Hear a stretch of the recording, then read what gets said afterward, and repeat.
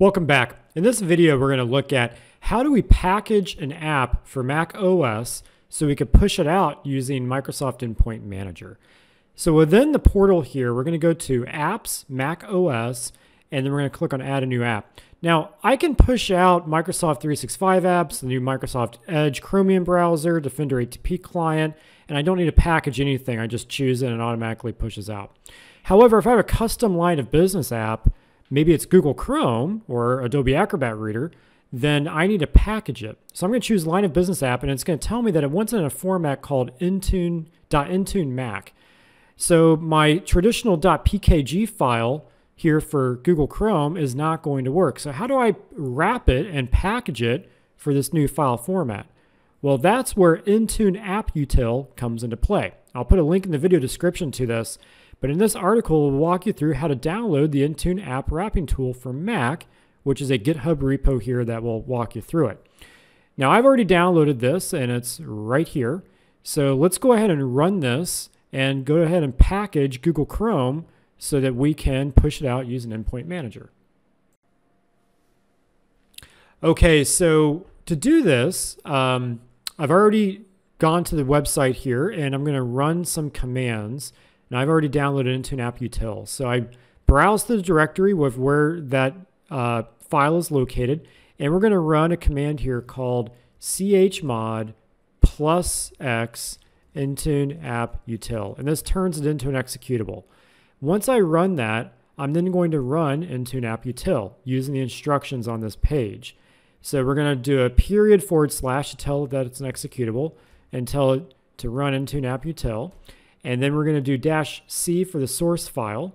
And it's actually located in the same directory that I'm in now. And again, this is going to be Google Chrome.pkg.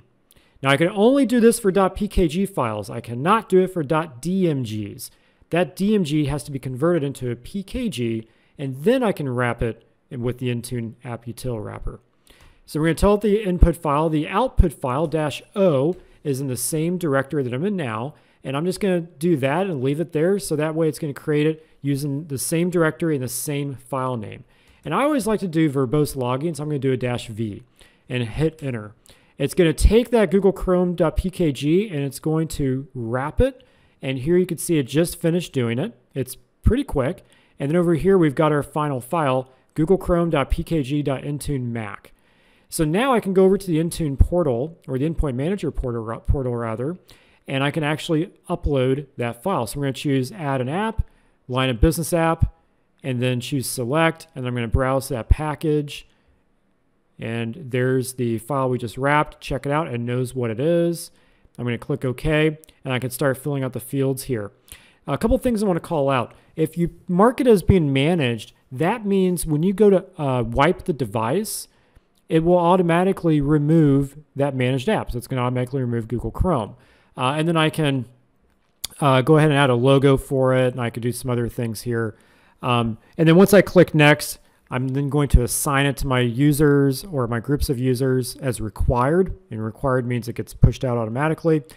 And at that point, I'm ready to go. It's going to start uploading the, the package to the portal, and then it's going to start processing it and then pushing it out to my end users.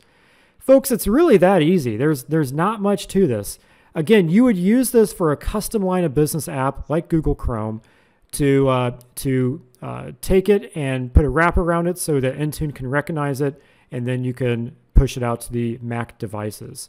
I've already done this with a few other apps, uh, as you can see here. So it's again, it's it's really easy. So I do recommend reviewing this article. I'll put a link in the video description and the GitHub uh, repo as well. Again, it's not much to it, but if you found value in this, let me know. Give me some comments. Uh, give me some feedback.